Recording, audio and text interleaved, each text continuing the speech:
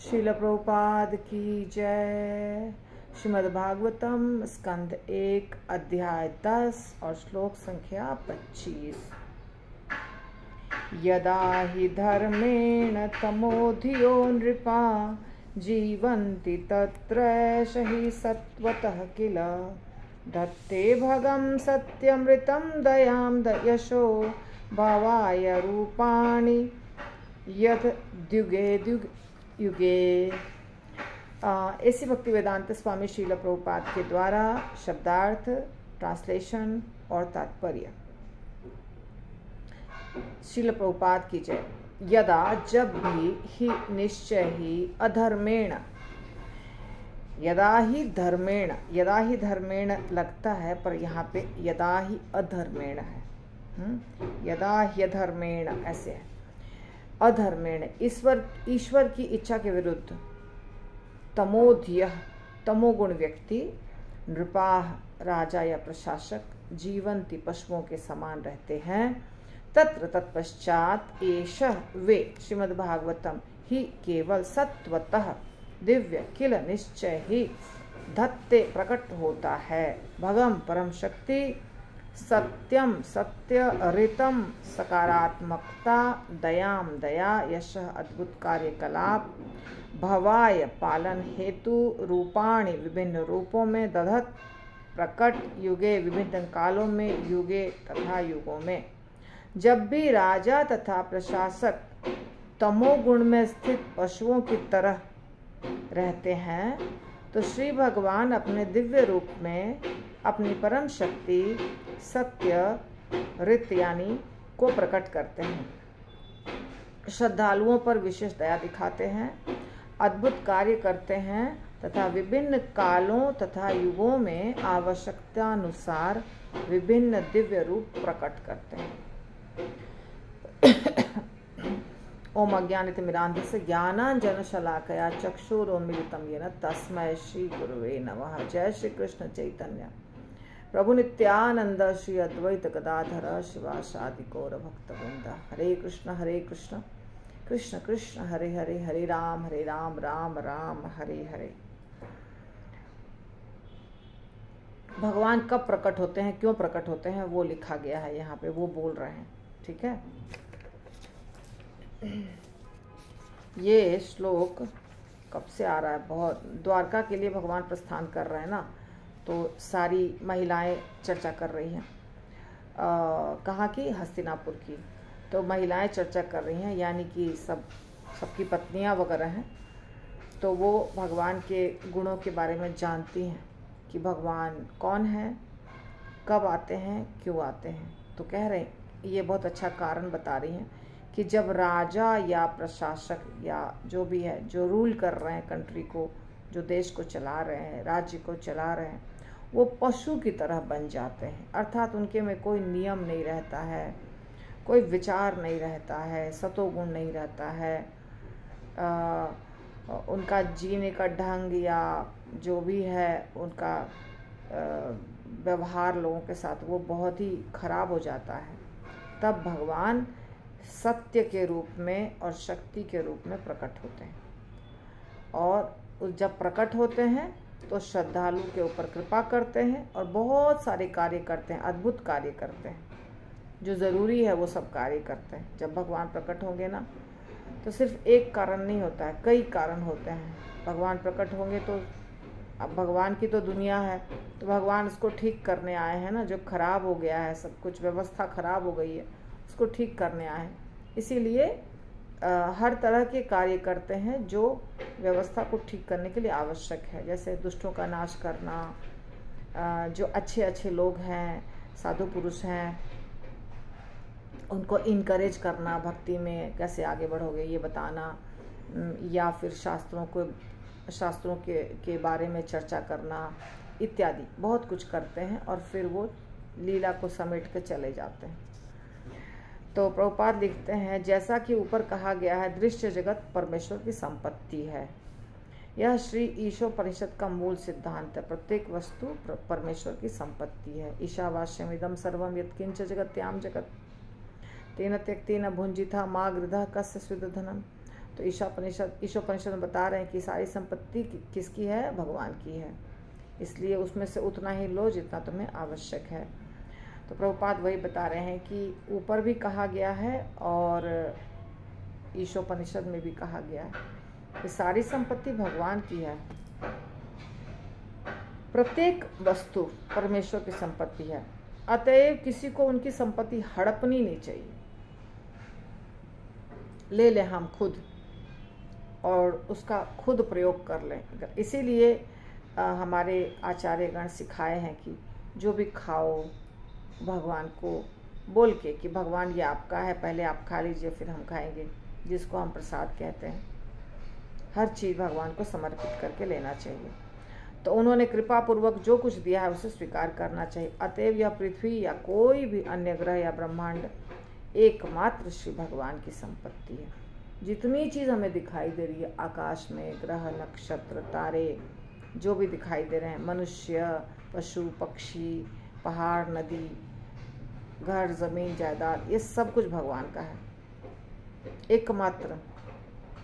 सारे जीव निश्चय ही उनकी, उनके अंश या संतान हैं और इस प्रकार उनमें से हरेक को अपना नियत कार्य करने हेतु उनकी दया पर जीने का अधिकार है। हम सब उनकी संतान हैं। जैसे हम सब संतान हैं, वैसे वृक्ष भी उनकी संतान है। जंगल के पशु भी उनकी उनकी संतान है। कीड़े, मकोड़े रेप्टाइल्स जो होते हैं, सब भगवान की ही संतान है। अगर हमको जीने का अधिकार है तो उनको भी जीने का अधिकार है। ऐसी शिक्षा देते हैं हमारे आचार्य कि यदि किसी राज्य में कोई राजा है तो राजा के राज्य में मनुष्य रहते हैं तो पशु भी तो राजा के ही राज्य में रहते हैं। जैसे मनुष्य जनता है राजा उनकी रक्षा करता है न्याय दिलाता है। वैसे ही पशु भी राजा राजा की जनता है। उसको भी न्याय दिलाने का कार्य राजा को करना चाहिए। ऐसा नहीं कि प्रोपाद लिखते हैं कई जगह पे। ऐसा नहीं कि मनुष्य के लिए तो बहुत कुछ किया और कसाई खाने खोल दिए, उसमें स्लॉटर हाउस में सारे जानवर कट रहे हैं। पशु कट रहे हैं पक्षी कट रहे हैं या फिर बकरा बकरी जो भी है मुर्गा पालन पोल्ट्री फार्म ये सब ये सब नहीं करना चाहिए गलत है। अधिकार नहीं है मनुष्य को करने का। और आ, अपना नियत कार्य करना चाहिए। हमको जो मिला है और हम जितना उसमें से जो हमारे पास अधिकार में है उसमें कुछ कर्तव्य हमारा होता है और कुछ अधिकार होता है। ज़्यादातर लोग क्या सोचते हैं कि अधिकार है, इस चीज़ पर मेरा अधिकार है। तो अधिकार बहुत याद रहता है सबको।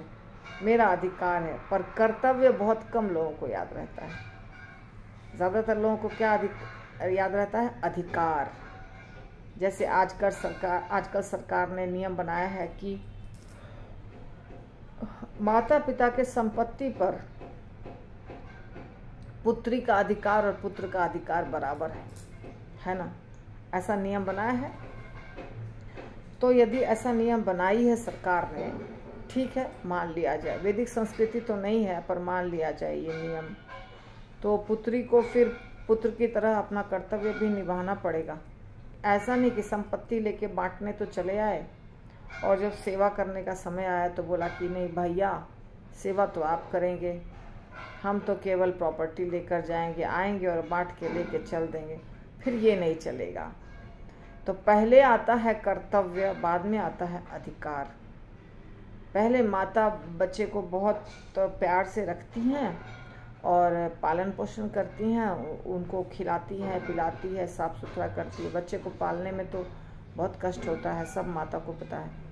फिर यदि बच्चा बड़ा होकर कमाता है और माता कुछ बोलती है कि अब मुझे यात्रा करने के लिए पैसा दो मुझे यात्रा करनी है या मे, मे, मेरे शरीर का ऑपरेशन कराना है तो उसके लिए पैसा दो। तो उसका अधिकार है मांगने का क्योंकि उसने कर्तव्य का पालन किया है। तो पहले कर्तव्य बाद में अधिकार। अधिकार मांगना मांगना नहीं चाहिए वो अपने आप मिल जाएगा। कर्तव्य करेंगे पूरा तो अधिकार खुद ही मिल जाता है कुछ मांगना नहीं पड़ता है। इसी प्रकार भगवान की भी सेवा करेंगे तो आपको स्वयं मिल जाएगा। कुछ कुछ मांगने की आवश्यकता नहीं होगी। तो अतएव भगवान की अनुमति बिना कोई भी व्यक्ति, किसी दूसरे व्यक्ति या पशु के अधिकार पर अतिक्रमण नहीं कर सकता। जैसे जैसे हमारे पास कुछ है, वैसे दूसरे के पास भी कुछ है तो उसकी संपत्ति छीन लेना या चूँकि पशु बोल नहीं सकता है तो उसको मार के खा जाना, ये सब नहीं होना चाहिए। राजा या प्रशासक भगवान के इच्छित प्रबंध की देखरेख करनी है तो उनका प्रतिनिधि होता है। अतएव उसे युधिष्ठिर महाराज या महाराज परीक्षित के समान मान्य व्यक्ति होना चाहिए। ऐसे राजाओं को विश्व पर शासन करने का ज्ञान तथा पूरा पूरा उत्तरदायित्व तो प्रामाणिक गुरु से प्राप्त होता है। हर जगह गुरु होते हैं। एक व्यक्ति मान लीजिए स्कूल में पढ़ता है, कॉलेज में पढ़ता है, उसको अलग गुरु मिलते हैं। लेकिन जो व्यक्ति अनपढ़ है ना, वो भी गुरु बना सकता है। और कुछ ऐसे लोग होते हैं जो, वो जो ज़्यादा पढ़े लिखे नहीं होते हैं फिर भी बहुत स्मार्ट होते हैं, बुद्धिमान होते हैं। कभी कभी घर के भी सदस्य हो सकते हैं, बहुत बुद्धिमान। तो बुद्धिमान व्यक्ति का संग करना चाहिए। फिर हमारा विचार ऊपर उठता है। तो इस प्रकार प्रामाणिक गुरु ढूँढने की आवश्यकता है। कल हम लोग चर्चा कर रहे थे तो आजकल एक व्यक्ति हैं इस पे। यूट्यूब पर और सब जगह रहते हैं वो। उनका नाम है सदगुरु। तो बहुत लोग उनको पसंद करते हैं। और बहुत सेमिनार्स वो देते हैं बहुत पैसा भी कमाते हैं। सेमिनार फ्री में नहीं होता, बहुत पैसा भी कमाते हैं। तो ऐसे गुरु अगर कोई बहुत पैसा कमा रहे हैं और अच्छा बोलते हैं तो उनको स्वीकार नहीं करना चाहिए। यहाँ प्रभुपाद ने क्या लिखा है? प्रामाणिक गुरु। प्रामाणिक गुरु किसको कहते हैं? जो परंपरा में आ रहे हैं।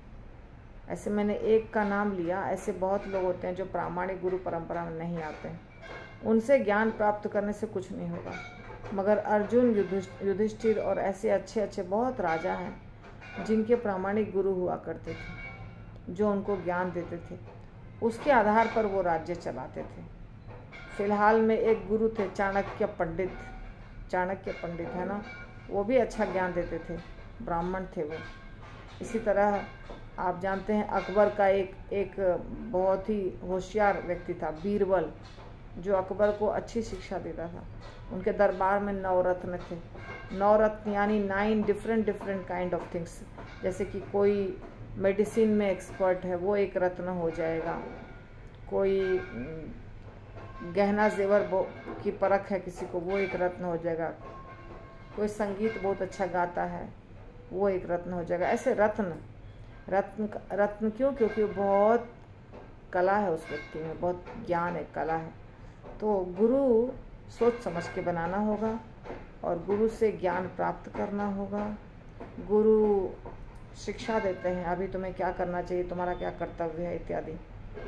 तो फिर वो ऐसा राजा अच्छे तरीके से विश्व पर शासन कर सकता है।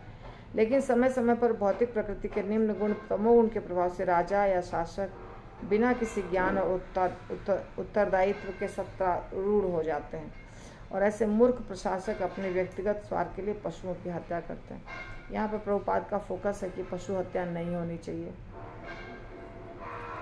ये बात सत्य है कि मूर्ख व्यक्ति राजा बन जाता है। और आजकल के ज़माने में तो वोटिंग जो हो रही है जो आजकल का समय चल रहा है जिसमें कि लोकतंत्र इसको बोलते हैं लोकतंत्र। यानी जिस व्यक्ति को ज़्यादा वोट मिले, वो व्यक्ति शासन करेगा। तो ज़्यादा, खाली नंबर देखा जा रहा है, क्वालिटी नहीं देखा जा रहा है कि हाँ ये व्यक्ति बुद्धिमान होना चाहिए, ये व्यक्ति बहुत कर्मठ होना चाहिए, इंटेलिजेंट होना चाहिए। ये नहीं देखा जा रहा है। क्या देखा जा रहा है? किसको ज़्यादा वोट मिले जिसको ज़्यादा वोट मिलेंगे, वो व्यक्ति लीडर। लेकिन वो जो वोट देने वाला है, उसको पता तो होना चाहिए कि किसको दें वोट।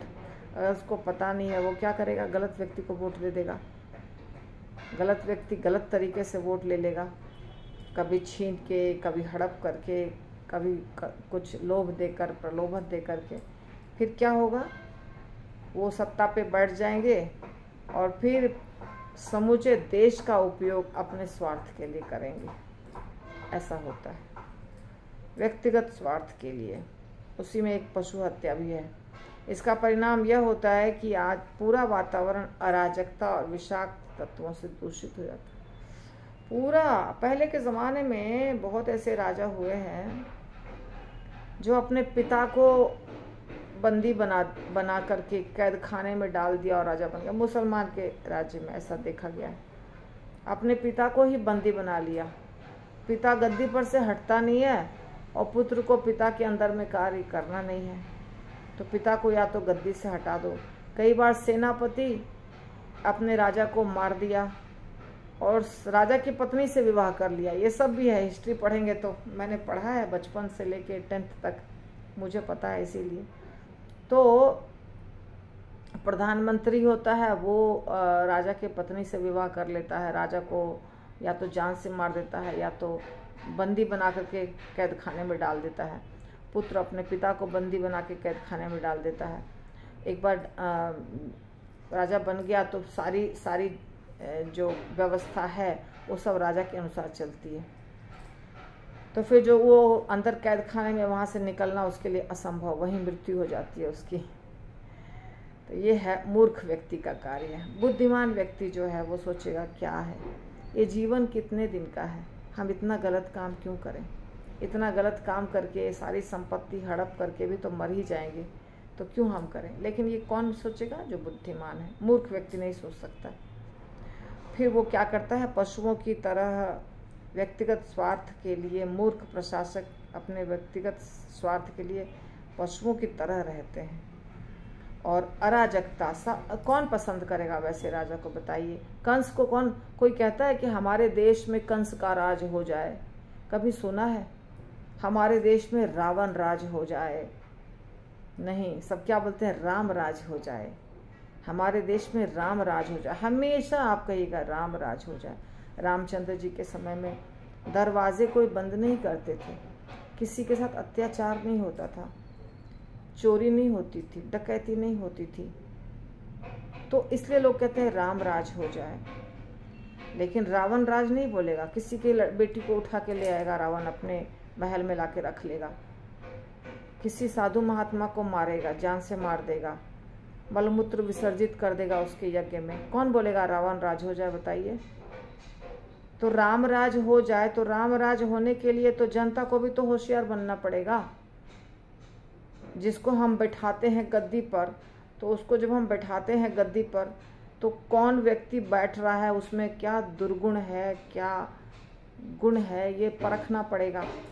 हमें थोड़ा सा कुछ लोभ दे दिया और हम उसको वोट दे दिए तो फिर तो वही हो जाएगा, रावण राज हो जाएगा। हमें थोड़ा दो चार हज़ार का कुछ सामान दे दिया, हम उसको वोट दे दिए। और जो सत्ता पे बैठना चाहते हैं, वो इसी के लिए देते हैं। मूर्ख जनता को बेवकूफ़ बना करके, वोट ले करके और उनको कुछ हज़ार दे देंगे और अपने करोड़ों में मज़ा करेंगे। तो पाँच साल के लिए मिल गया शासन और उसके बाद हम जो मर्ज़ी है करेंगे, ये गलत बात है। फिर पूरा देश सफ़र करता है। पूरे देश में प्रॉब्लम आता है, पूरा विषाक्त हो जाता है, विषाक्त तत्व। गलत व्यक्ति राज करने लग जाते हैं तो समाज अव्यवस्था सब जगह फैल जाती है समाज में। पुलिस करप्ट शासक corrupt IAS corrupt IPS corrupt doctor corrupt सब जगह करप्शन हो जाता है। घूस चलता है मानव समाज में भाई भतीजावाद, घूस, धोखाधड़ी, महामारी इसके कारण दुर्भिक्ष, रोग, युद्ध, इस प्रकार अन्य उद्विग्नकारी तत्वों की प्रधानता हो जाती है। एक बार यदि जनता को छूट मिलने लग जाए तो फिर जनता सब जगह की एक ही है। ऐसा नहीं है कि अमेरिका की जनता अच्छी है और इंडिया की खराब है। सब जगह की जनता एक जैसी है। लेकिन कहीं पे टाइट करके रखा है कहीं पे लूज छोड़ा है बस यही फ़र्क है और कुछ नहीं। करप्शन सब जगह हो जाएगा तुरंत। इसलिए आ, जो व्यवस्था होती है वो मज़बूत होनी चाहिए। ज्ञान होना चाहिए। सबको भगवान का ज्ञान देना पड़ेगा। ये जब तक भगवान का ज्ञान अच्छा भगवान का ज्ञान अगर देना शुरू करते हैं तो बीच में माया देवी चली आती हैं परीक्षा लेने के लिए। और माया देवी अपना प्रलोभन दिखाती हैं लोग तो लोग उसमें फंस जाते हैं। ये धन जो है ना, ये धन ऐसी चीज़ है, उसमें अच्छे अच्छे फंस जाते हैं, भक्तगण इसमें फंस जाते हैं। प्रभुपाद लिखते हैं बार बार कि एक कामिनी और एक कंचन, ये दो में तो बड़े बड़े साधु महात्मा फंस जाते हैं। सत्य बात है। एकदम सत्य बात है। दो चीज़ बहुत डेंजरस है, कामिनी और कंचन। तो शिक्षा देने के साथ साथ हमेशा होशियार रहना पड़ता है कि हम गलत दिशा में ना चले जाएँ। भक्ति तो कर रहे हैं, फिर भी गलत दिशा में ना चले जाएँ, ये बहुत आवश्यक है। तो श्री भगवान के भक्त या श्रद्धालु लोगों को सभी प्रकार से दंडित किया जाता है।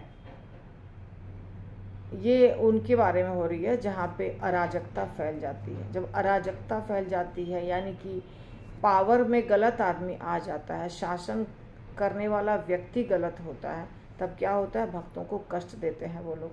और ये समस्त लक्षण इस बात के सूचक हैं कि धर्म की स्थापना करने तथा कुशासन का विनाश करने हेतु श्री भगवान अवतार लेने वाले हैं। श्रीमद् भागवतम में भी इसकी पुष्टि हुई है। तो भगवान तब अवतार, अवतरित होते हैं। जब देखते हैं भगवान कि मैंने साधु भेजा, संत भेजा, ग्रंथ भेजा खुद भी मैं मंदिर में खड़ा हूँ, बैठा हूँ। परंतु फिर भी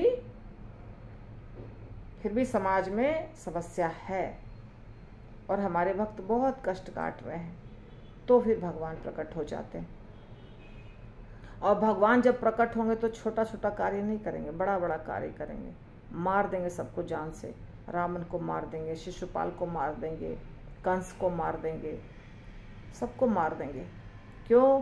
क्योंकि ऐसे छोटा कार्य करने के लिए भगवान तो आते नहीं। छोटा कार्य तो भगवान किसी को जो जिसको भेजते हैं, उससे हो जाएगा। तो भगवान तब आते हैं। तो श्री भगवान तब भौतिक गुणों से रंच मात्र भी प्रभावित हुए बिना अपने दिव्य रूप में प्रकट हो जाते हैं।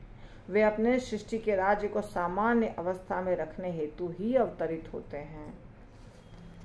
विष्णु भगवान का कार्य क्या है? विष्णु भगवान का कार्य है व्यवस्था करना मेंटेन करना। तो व्यवस्था या मेंटेनेंस जो है वो इसी को कहते हैं। चीज़ों को जगह पे रखना सही चीज़ों को सही जगह पर रखना। सही व्यक्ति को गद्दी पर बैठा देना। गलत को, थोड़ा बहुत जो गलत है उसको भगवान मौका देते हैं, सुधर जाओ सुधर जाओ। जो नहीं सुधरता है, उसको बोलते हैं ख़त्म। क्योंकि अगर ये रहा तो मैं बार बार तो अवतार लूँगा नहीं। ये तो अभी इस, इसको जड़ से समाप्त कर दूँगा तो फिर बहुत दिनों तक व्यवस्था अच्छी चलेगी। लेकिन अगर इसको छोड़ दूँगा तो बस दो चार साल के अंदर फिर से मुझे आना पड़ेगा क्योंकि ये जो उत्पाती व्यक्ति है ये पूरे समाज में कुव्यवस्था फैला देगा। इस उत्पाती व्यक्ति को मारना ज़रूरी है इसलिए उसको मार देते हैं। ऐसी बात होती है। सामान्य अवस्था यह है कि प्रत्येक ग्रह के निवासियों की सारी आवश्यकताओं की पूर्ति के लिए भगवान द्वारा प्रबंध होता है। वे प्रामाणिक शास्त्रों में वर्णित विधि विधानों का अनुसरण करके सुखपूर्वक रह सकते हैं। अंत में मोक्ष भी प्राप्त कर सकते हैं। और मोक्ष प्राप्त करने के लिए अपनी वैधानिक वृत्तियों को संपन्न कर सकते हैं। इस भौतिक जगत की सृष्टि नित्य बद्ध जीवों की मनमानी की इच्छाओं की पूर्ति के लिए वैसे ही की जाती जैसे शरारती लड़कों के हाथ में खिलौने पकड़ा दिए जाते देखिए, भगवान जो है ना, उन्होंने बहुत सारे लोक बनाए हैं। भगवान ने बहुत सारे लोक बनाए हैं ना। चौदह भुवन, ऊपर के लोग नीचे के लोग बीच के लोग लेकिन लोगों को शांति नहीं है। अगर भक्त कोई सोचता है कि हमको शांति से जप करने दो। तुम अपना काम करो, हम अपना काम करते हैं।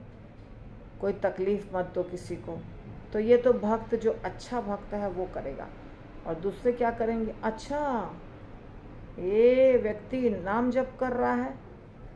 ये नॉनवेज नहीं खा रहा है। इसके जीवन में बहुत शांति है। क्यों शांति है? इसकी शांति को हम भंग कर देंगे। कुछ माताएँ ऐसी हैं जो कहती हैं, हमको नॉनवेज नहीं खाना है। तो उसका हस्बैंड बोलता है, तुमको खाना पड़ेगा। तुमको खाना पड़ेगा, तुमको मेरे लिए बनाना पड़ेगा। ऐसा है। अगर पत्नी बोलेगी, हम चाय छोड़ेंगे तो पति बोला, नहीं, मेरे, मेरा कंपनी फिर कौन देगा? मेरे बगल में बैठ के चाय पियो तुम भी। ऐसे भी लोग होते हैं। तो यहाँ पे कह रहे हैं कि हर व्यक्ति को हर लोक में भगवान ने भरपूर मात्रा में सुविधा दिया है। जो चंद्रमा, चंद्रलोक में है, उसको चंद्रलोक में रहने के लिए सब कुछ सुविधा है। जो सूर्य लोक में है, उसको सूर्य लोक में रहने के लिए सब सुविधा दी गई है। जो धरती पर हैं, उनको धरती पर सब सुविधा दी गई है। परंतु, व्यक्ति को सुनना नहीं है भगवान की बात। मनमानी करनी है। वो सुखपूर्वक जी सकता है वहाँ और जी करके भगवान के व्यवस्था के अनुसार मोक्ष भी प्राप्त कर सकता है। भगवत धाम भी जा सकता है। परंतु जो उत्पाती होते हैं वो ये सुनना नहीं चाहते करना नहीं चाहते। यहाँ पे लिखा इस भौतिक जगत की सृष्टि नित्य बद्ध जीवों की मनमानी इच्छाओं के लिए वैसे ही की जाती जिस प्रकार शरारती लड़, लड़कों के हाथ में खिलौने पकड़ा दिए जाते हैं। तो जो जीवात्मा है, वो कहते हैं कि नहीं नहीं, हमको तो मालिक बनना है, हमको तो राजा बनना है। जैसे कृष्ण बहुत लोग बहुत सारे जीवात्माओं के साथ नाचते हैं, गाते हैं तो हमको भी नाचना गाना है। तो भगवान ने एक नकली दुनिया बनाकर दे दी, ठीक है। तो असली दुनिया में तो तुम नहीं कर सकते हो, क्योंकि तुम तो शुद्ध नहीं हो। तो नकली दुनिया बना दिया, वहाँ पे तुम जाओ और ट्राई करो। खिलौना पकड़ा है, ये भौतिक जगत जो है खिलौने के समान। अन्यथा भौतिक जगत की कोई आवश्यकता नहीं थी। एकदम सत्य। भौतिक जगत की कोई आवश्यकता नहीं है। क्या आवश्यकता है? आप बताइए। यदि पुणे का हर व्यक्ति सज्जन हो जाए, एकदम सज्जन, बिल्कुल सज्जन तो ट्रैफ़िक पुलिस की भी ज़रूरत नहीं पड़ेगी। सारी गाड़ियाँ अपने आप चलेंगी रास्ते पर। और पुलिस की भी ज़रूरत नहीं पड़ेगी क्योंकि हर व्यक्ति सुधरा हुआ है और जेल की भी ज़रूरत नहीं पड़ेगी। क्यों पड़ेगी जेल की ज़रूरत, बताइए? जेल में तो तभी रखा जाता है ना जब कोई व्यक्ति अब यहाँ पे इस दुनिया में कोई किसी का मर्डर कर रहा है, कोई किसी का रेप कर रहा है, कोई किसी का धन लेके बंदूक दिखा करके धन लेके जा रहा है तो उस व्यक्ति को अगर जेल में नहीं रखेंगे, बंद करके नहीं रखेंगे, सज़ा नहीं देंगे तो कितना दिन आदमी जी पाएगा? यहाँ बताइए। तुरंत में समूचा शहर और समूची पृथ्वी नर्क बन जाएगी, तुरंत। इसलिए क्या किया जाता है? वैसे लोगों को जेल में रखा जाता है।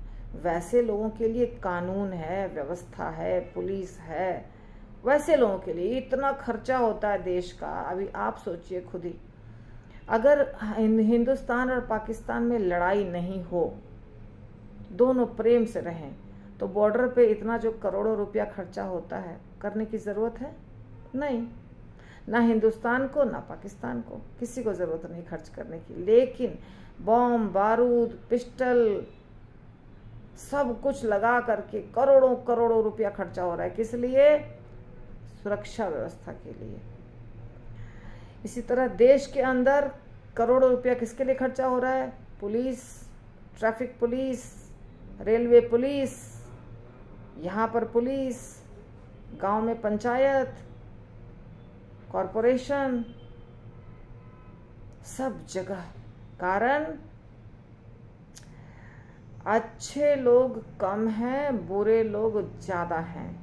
और बुरे लोग बदमाशी करेंगे और यदि व्यवस्था नहीं रही तो अच्छे लोगों का जीना भी मुश्किल कर देंगे। इसीलिए इतना करना पड़ रहा है। यदि सब अच्छे हो जाएँ तो जेल की भी ज़रूरत नहीं, पुलिस की भी ज़रूरत नहीं, क्राइम पुलिस की ज़रूरत नहीं, ट्रैफ़िक पुलिस की ज़रूरत नहीं, और सीबीआई की ज़रूरत नहीं, रॉ की ज़रूरत नहीं, कोई डिपार्टमेंट नहीं चाहिए। आप सोचिए, अभी आप सोचिए जो ऊपर के जगत हैं, जैसे सत्य लोक है, सत्य लोक है ब्रह्मा जी का जगत है तपोलोक है, वहाँ पे क्या जेल और ट्रैफ़िक पुलिस होता है? नहीं। वहाँ वैसे ही लोग होते हैं, पूरे उस लोक में सारे लोग जो रहते हैं, बहुत कम लोग रहते हैं, और जो रहते हैं सब ऋषि मुनि बड़े, जैसे भृगु मुनि है, ऐसे ऋषि मुनि रहते हैं, और सब एक स्थान पर बैठ के ध्यान में मग्न रहते हैं। कहीं पर नारद मुनि और चार कुमार बैठ के कथा कर रहे होते हैं। कहीं शिव जी पार्वती माता को भगवान की कथा बता रही, बता रहे होते हैं। वहाँ पे क्यों ट्रैफ़िक पुलिस चाहिए? क्यों जेल चाहिए? कुछ भी ज़रूरत नहीं है। यहाँ दुष्ट व्यक्ति हैं, इसलिए यहाँ जेल चाहिए। यहाँ क्या करते हैं लोग? जब जब ये लोग, देखिए, लेकिन जब ये भगवान की अनुमति के बिना विज्ञान की तथा कथित शक्ति द्वारा अवैध रूप से संसा, संसाधनों का दोहन करने हेतु तो उन्मत्त हो उठते हैं और वो भी केवल इंद्रिय तृप्ति के लिए, तब आतताइयों को दंड देने तथा श्रद्धालुओं की रक्षा करने के लिए भगवान को अवतरित होना पड़ता है। तो भगवान को अवतरित होने का कारण है व्यवस्था, क्योंकि सब जगह बर्बाद हो चुका है ना? बर्बादी हो गई तो बर्बादी को क्या करना है? वापस सिस्टमैटिक बनाना है। तो जिस जगत में, जिस इसी भौतिक दुनिया में जो ऊपर के लोग हैं, एकदम ऊपर के लोग हैं, जनलोक, तपलोक, सत्यलोक, वहाँ पे कुव्यवस्था नहीं है। वहाँ चीज़ें सिस्टमैटिक स्वर्ग लोक तक ज़्यादा उत्पात है। क्योंकि सबको स्वर्ग जाना है। स्वर्ग में सुरा, सुंदरी, नंदन, कानन क्या क्या बहुत कुछ है तो वहाँ पे सब जाना चाहते हैं एंजॉय करना चाहते हैं। मगर जनलोक और तपलोक इसमें तपस्या करने के लिए लोग जाते हैं। जिसको भोग करना है, वो स्वर्ग तक ही जाता है। जिसको भोग नहीं करना है, तपस्या करनी है, वो ऊपर के लोकों में जाता है। तो ऊपर के लोकों में उत्पात नहीं है। इसीलिए बहुत बार ऐसा प्रलय होता है, जिसमें नीचे के सारे लोग समाप्त हो जाते हैं। मगर ऊपर के जन लोग तपलोक, ये सब समाप्त नहीं होते हैं। ये रहते हैं, ठीक है? तो आज हमारा क्लास यहीं पे रुकेगा। अभी जो बचा हुआ है, इसको हम कल करेंगे। शिल की जय, श्रीमद भगवद गीता की जय। निताई गौर, प्रेमानंदे हरि हरि बोल।